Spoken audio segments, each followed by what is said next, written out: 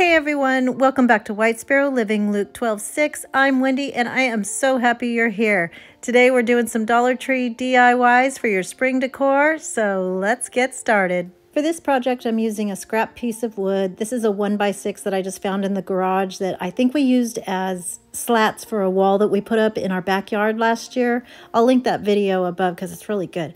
Anyway, I'm just going to paint it with my white chalk paint and I want some of that wood to peek through so I'm not completely covering it and so you can still see the grain of the wood and I'm doing all four sides as well.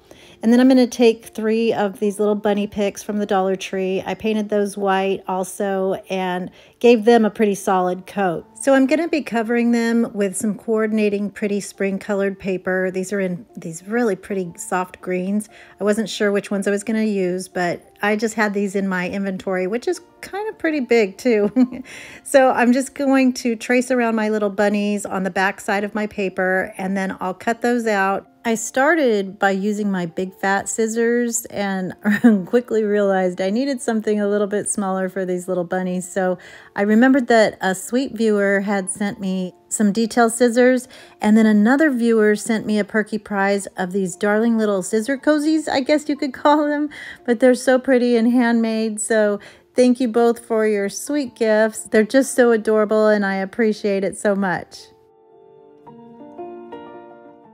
So now I'm going to cover my bunnies with the paper using some Mod Podge and I'm just going to brush it on there pretty generously. So basically I'm just using it as a glue and then I'll flatten that out, make sure there's no bubbles or bumps. And I didn't poke a hole where the eyeball was. I'm just gonna leave it completely solid. And I'll do that with all three of my cutouts. And you can see why I painted all of the sides and my bunnies in the first place so that when I go to sand it, it leaves some of that paint showing on the edges. But also, if you're not a great cutter outer like me, if you cut it a little short, it doesn't matter because that'll just poke out and be super cutie patootie. And part of my Perky Prize box that I got from the viewer that sent me the little scissors also had this adorable little emery board that I can use to sand those super small edges of my bunnies. And that way I can get into all of the nooks and crannies.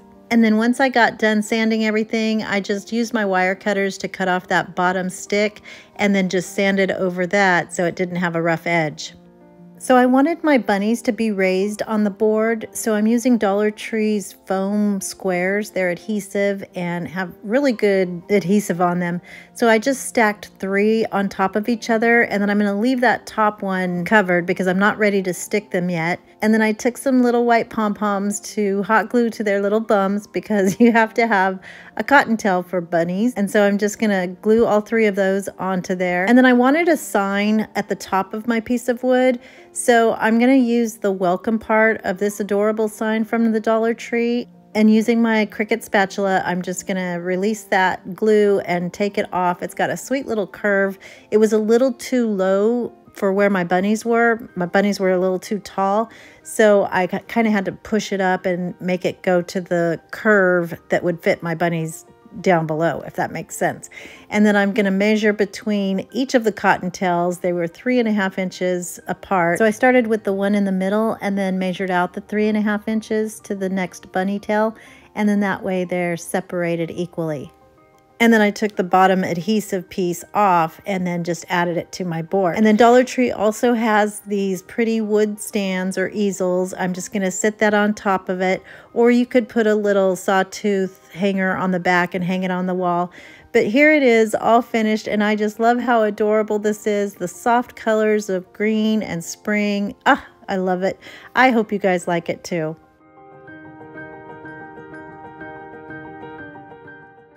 For this project, I'm using three of the mini wreath forms and then a couple of rolls of Easter ribbon and then a whole bunch of pretty pink flowers.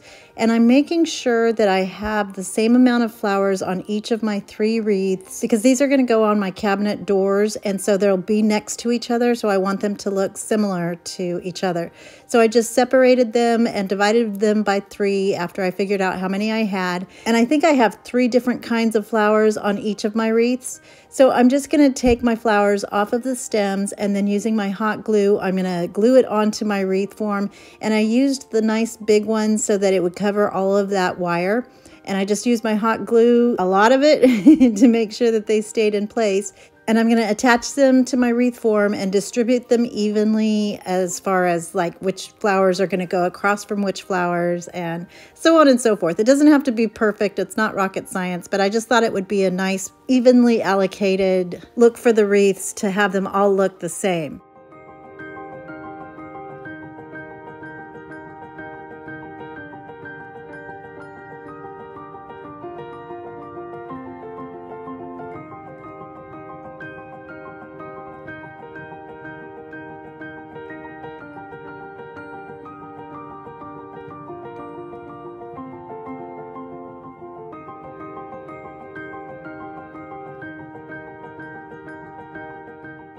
So once I got my wreaths done, I'm going to take some greenery, and this is from Walmart. I just wanted to add a little bit more life to these wreaths, and you don't have to. In fact, I contemplated leaving them the way they were because they're so soft and pretty and springy already, but I think the green adds a little bit more of that representation of spring and growth, and so I just added it, but you don't have to.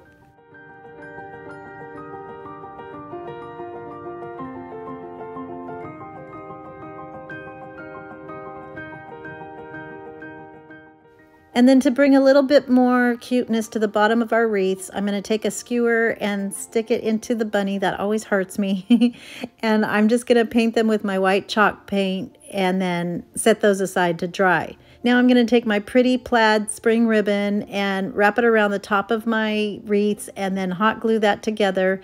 And then I took some more of it and added some white grosgrain ribbon to it to make a double patterned perky bow. So I just used the fold over method and did that about three times on each side. So there'll be a total of six loops and then used a chenille stem to tie it together and then foof my loops and then attach that to the top where I attached my original ribbon to hang it onto my cabinets. And then I'll hot glue my bunny to the very bottom and it's done.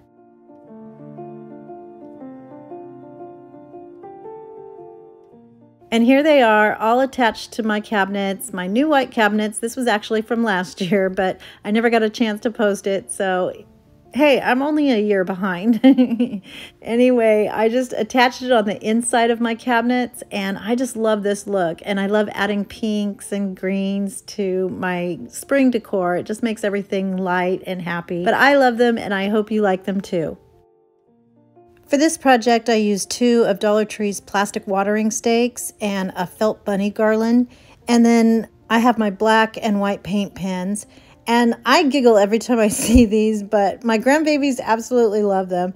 So I'm going to see which colors go best together with my stakes and then cut the bunny ears off with about an inch or so extra fabric from the head.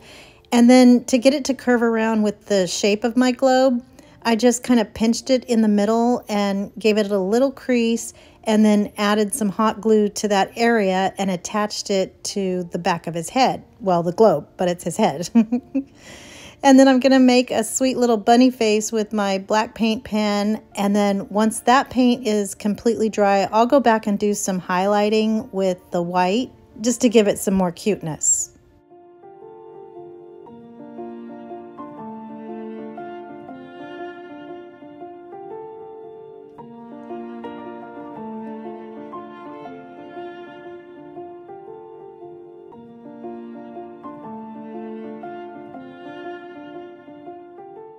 So then I made a sweet little bow around the stake part of my bunny and I'll give it a little dot of hot glue to keep it in place. And then I made another one to give this guy a friend. But if you watch my channel regularly, you know that I have a black thumb and cannot keep plants alive. So not only do these make me smile, I actually have a plant that is kind of thriving because I don't have to remember to water him, just put some water inside of it. And then in the off season, when I put my spring decor away, I just kind of tuck these little guys in the back so that the plants cover them up and you can't see them.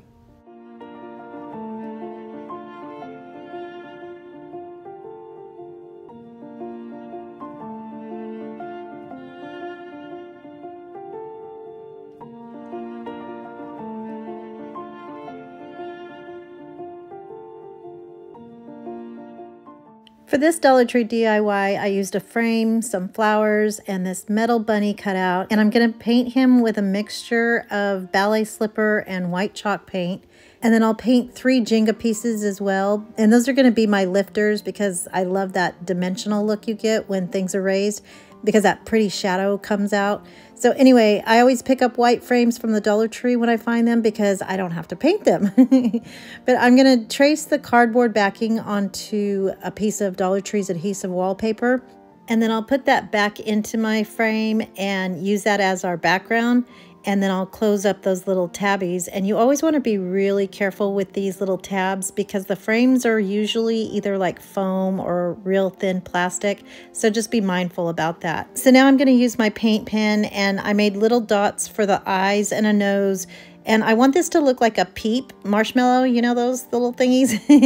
and then with my white paint pen, I wrote hanging with my peeps. Now you can use rub-on letters or stencils, your cutting machine, or the transfer method that I like to show you guys if you print it out on a piece of copy paper. However you want to get the wording on there and make it say whatever you want, but I just thought this was really cute.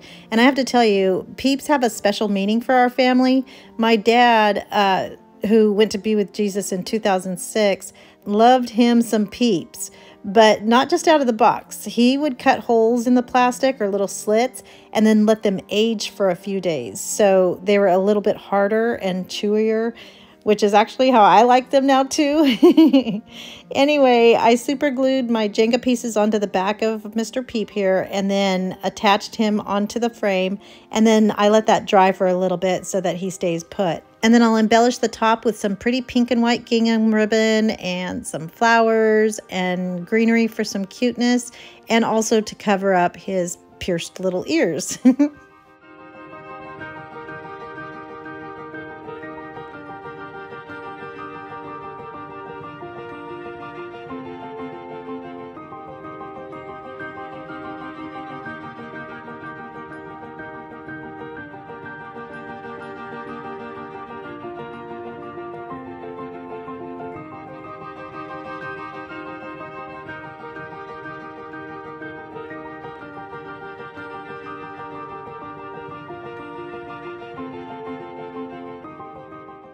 And here it is all finished and just another way to welcome spring and it puts a smile on my face every time, especially because I think of my dad. I love this and I hope you like it too. So I've had these Dollar Tree styrofoam frames for a few months now, and I have been waiting anxiously for spring to do this project. I was to do one large and one small one, but I decided to just do the big one for this video. So I'm to give it a nice thick coat of white chalk paint to cover up some of that texture of the styrofoam, you know, like those little teeny circles and any dents and stuff, but the dents were okay because I want this to look like an old frame. So while it's still wet, I'm going to take a mixture of my hazelnut and antique wax to give it a distressed finish. So it's kind of more blending than, it's not the dry brush, it's more of the just kind of blending it into make it look like that wood. And then I painted three of Dollar Tree's mini styrofoam eggs with different shades of my Waverly chalk paint in crystal. So I'll add a little bit of brown and actually I just used the same mixture that I had when I was doing the distressing on my frame. And I'm making them different shades with the browns and the whites and that crystal blue. So they're all the same color family, but they're a little bit different. So kind of like siblings, right?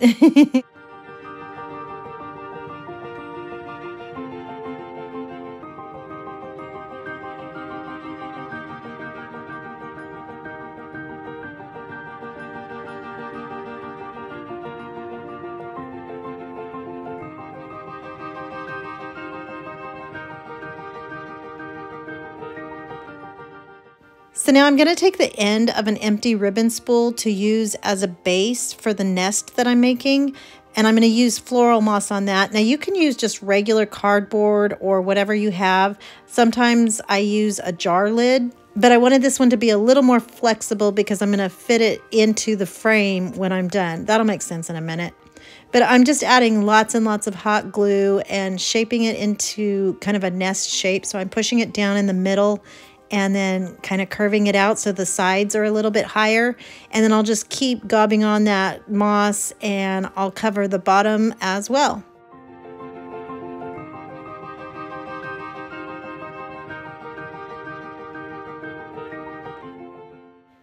So now I'm just going to take some more hot glue and glob it on one of the corners. I use the bottom left side and I'm going to take some of Dollar Tree's reindeer moss and glue that down to the sides and the corner.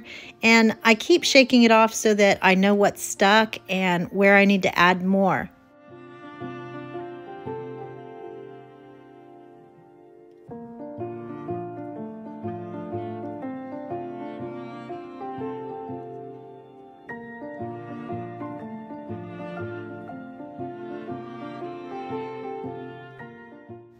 And then to add my nest, I used a floral pick. You could use a push pin, I guess, or I don't know.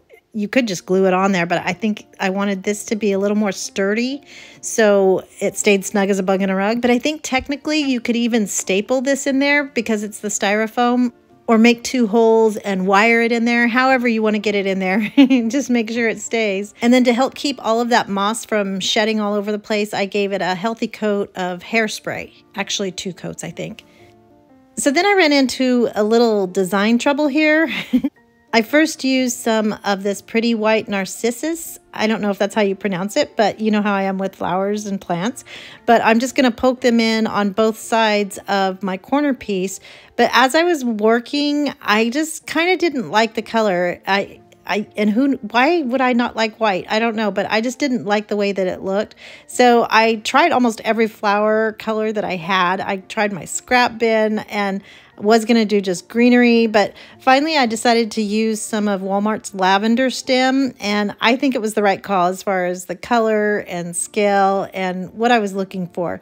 So I'm just going to glue that in, and then I glued in my pretty little eggs, and it was done.